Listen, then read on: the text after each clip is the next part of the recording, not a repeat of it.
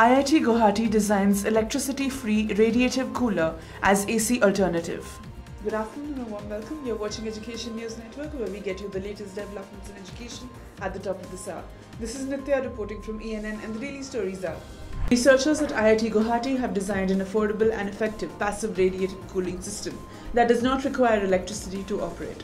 This radiative cooler coating material is an electricity-free cooling system as it can be applied on the rooftops and functions both during the day and night time to provide an alternate to the conventional air conditioners.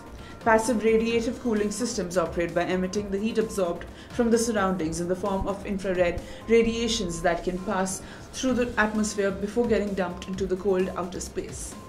Most passive radiative coolers operate only at night. For daytime operation, these coolers need to reflect entire solar radiation as well. Until now, these cooling systems are not able to provide sufficient cooling at daytime, but this is where the IIT Guwahati innovation is unique. IIT Guwahati researchers set out to resolve these issues and bring out an affordable and more effective radiative cooling system that can operate round the clock.